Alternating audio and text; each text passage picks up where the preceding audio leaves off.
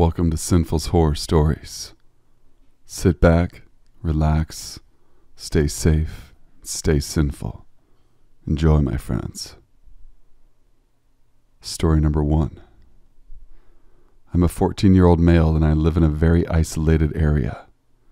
I joined a gym a few months ago, and since it's a walkable distance, I used to walk on my way to the gym and return in public transport rickshaw these vehicles are pretty compact and congested, with a set of two seating rows in front of each other.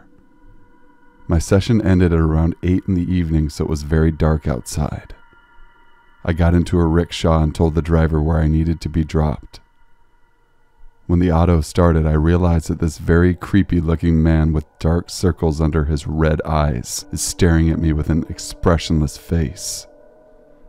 I shrug it off since these type of people are fairly common in my area.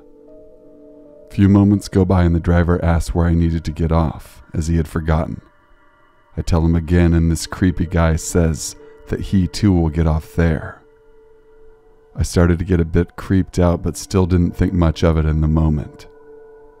I got off of my spot along with the creepy man, paid the driver, and started walking to the street that led into my neighborhood. I glance behind and see that this guy is following me. The creepiest part that he was walking in an extremely dead manner. I was getting scared at this point, but felt relieved when I saw that there was a wedding taking place on my way home. It's an Indian wedding, so needless to say, it was very loud and bright. I thought he might go away now, but he didn't. He kept following me. As I passed the marriage lawn, it again became extremely quiet and dark since the area I live in is very empty and there are no streetlights around. The man is still following me. I thought to myself that maybe he lived around here, so there is a chance that he is not following me, but still I was scared enough to walk faster. When I was three minutes away from my home, I saw that I was no longer being followed, so I assumed he wasn't actually following me. Just when I reached the street my house was on, I saw him running towards me. I was scared shitless, so I started running as fast as I could to my house, started ringing the bell. I looked to my side to see that he was just standing there like a statue, staring at me. Just as I was about to scream, my sister opened the gate and I went inside, locked the door. I told her what happened. We both got on the roof of the house to see where he was. We saw him walking away into the darkness. I left for the gym early the next day and came back before dark. This was the scariest experience I've ever had, regardless of how anticlimactic it was. Story number two. When I was six years old, my parents divorced. My dad was soon given full custody, as my mom is an alcoholic and racked up a few DUIs. Anyway, me, my younger sister, and my dad moved to a new neighborhood. We transferred to the nearby elementary school. The school was very close to my house, maybe five to seven or so blocks away, close enough to walk, but my sister and I, also a girl, were too young to walk alone. Sometimes our dad would walk us to school in the morning and then walk back. Less commonly, he would walk to pick us up. My dad usually would pick us up in his black Mazda. The way that pickups worked at my school was very common. We went out with our class, stood by our teacher and classmates, and when a car pulled up, designated staff members would ask who the student was that they were picking up. They would then go find them with their class and escort them to the correct car. Seeing as my mom was in jail at this time, the only person who would ever pick us up was my dad. One day I was in third grade and my sister was in first. We were outside waiting to be picked up. After being outside for only a few minutes, my little sister came over to me. She said someone who isn't dad was in a car to pick us up. He said both of our names and they found her first.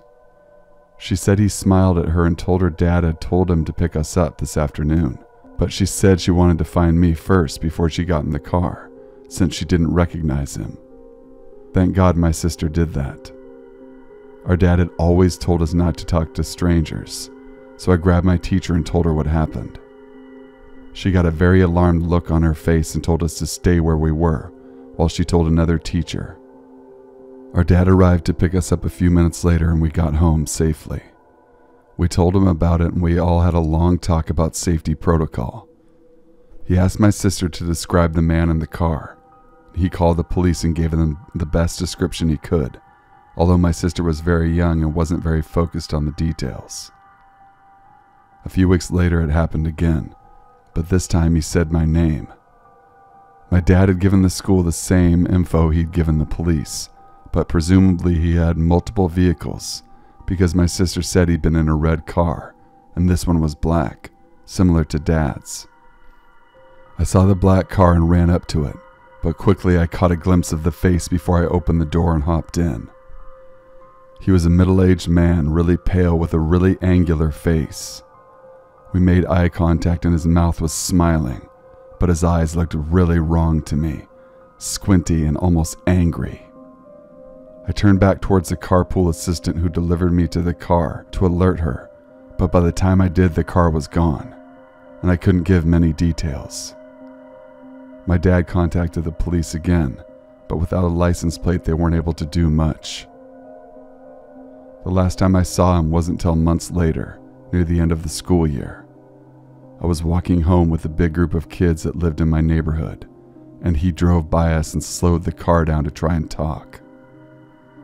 I recognized his face immediately and alerted the other kids to run.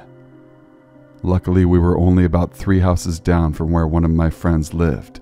We all piled into her house, concerned her parents significantly as we explained the situation.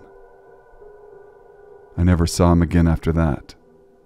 My dad started dating my now stepmom, and we moved to her neighborhood and switched schools shortly after. I still think about him occasionally, though. His face was actually in my dream a few nights ago, which reminded me to write about my experience. To this day, I don't know how he knew my name, how he knew anything about us, really. Very fucking scary to think about what would have happened to my tiny little sister if she had gotten in that car with that man, and what might have happened to me if I had.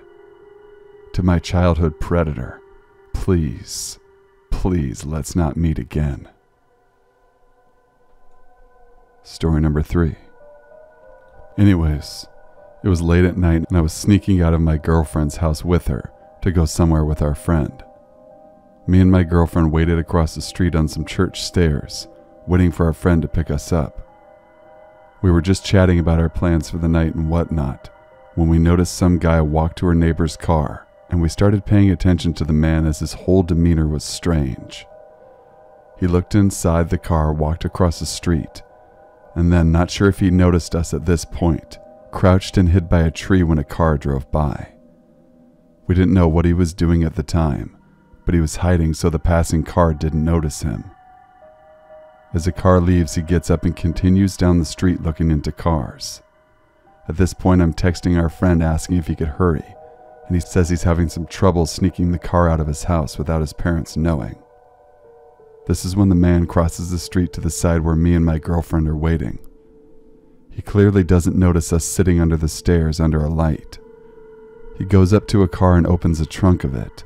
He crawls right inside and closes it back up. The car was an SUV type car. He's doing God knows what in that car for about five minutes. The whole car is slightly shaking. He gets out and starts walking down the street, where he finally notices me and my girlfriend sitting. He just looks at us, mumbles something under his breath, puts a fist out for a fist bump.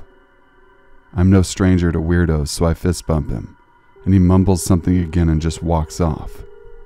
It looks like he had a little little kid's book bag on, because it had some sort of graphics on it. Our friend came not even 30 seconds after that, and we asked if he had seen a guy walking on the sidewalk. He said he didn't notice anyone. We think the guy was hiding from him as he drove by, also. Anyways, that was that. I called the police just to make sure they knew and to have a patrol car out in case he comes back to the car. I'm not sure if he was ever caught. I'll always wonder what you were up to. Creepy guy who was able to silently close a trunk. Story number four. I'm a 16 year old female and I live with my mom in a very small house. Our rooms are separated, and mine is located just beside the dining area, while hers was near the living room. Anyways, my room is also beside the back door that leads to a patio in our backyard, which is just right beside my room. Inside my room is an air conditioning hole that has not been repaired, and it's just being covered by a flimsy ass plywood. If you were outside, you'd be able to lift this plywood and peek through my room from the patio. This information is important for the story, so just bear with me for a little while. Now, I've been noticing for the past few days that someone keeps on flashing flashlights on my window at 3 a.m. I've told my mother and the housekeeper about this, but they told me it's just a neighbor checking the chickens. They have chickens which are located near our backyard. Not at 3 a.m., you're not. But, anyways, I shrugged it off and thought it might have been unintentional. I never really gave thought about it because I never really met this neighbor. We never had an actual interaction. One time, though, I was hanging my clothes on the backyard when I saw him just staring directly at me while smoking. Like he just sat on his backyard and stared at me. I got weirded out and I was home alone at the time. Fortunately, my mom arrived and I had to stop and help her bring in the groceries. After those events, nothing really happened much until today. I was watching military videos and live PD on my phone while I was lying on my bed. I suddenly heard the plywood move. I paused the video to see what was going on when someone suddenly lifted the plywood, stuck their hand in, and opened their fucking flashlight. I froze for a second, unable to process the situation I was in. I snapped and screamed, What the fuck? Quickly opened my phone's flashlight. I pushed the plywood out and was expecting to see someone, but the person took off. I immediately turned on the lights and went into the kitchen to grab the largest knife we had. At this point, my heart was beating so fast, my eardrums beating as well. I was cautious to open my back door, but I did anyways. I was holding the knife really hard and I knew I was going to get in real danger this person decided to fuck with me for real. I stood there breathing heavily, and all I saw was darkness. Till I saw that fucking neighbor walking with his flashlight, pretending to check on his chickens at 4 a.m. He saw me and immediately went back into his house. I was breathing hard. I thought about barging into his house and killing him right on the spot, but I figured to just let the cops handle it. I'm still shook up about it, so fucking mad. It makes me wonder how many times had done that without me knowing. How many times he had spied on me. It makes my blood boil. It makes me fucking mad. Sure, I was scared, but my anger surpasses that. If he does that one more time, I will kill him myself. Creepy fucking neighbor. Let's never meet. Thank you guys for watching and listening.